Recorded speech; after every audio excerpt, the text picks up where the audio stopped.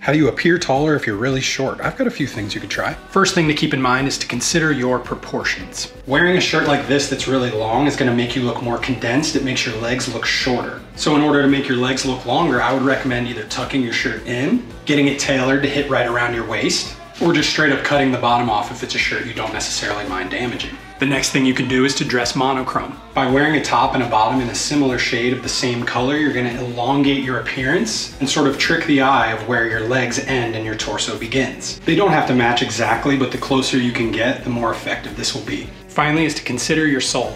A super flat sole of your shoe is obviously not gonna do much for you height-wise. So investing in something like a boot with a bit of a heel to give you some actual height or a shoe that has a bit more of a lug sole. These are a great way not to just look taller, but actually give you an extra inch to inch and a half when you wear them.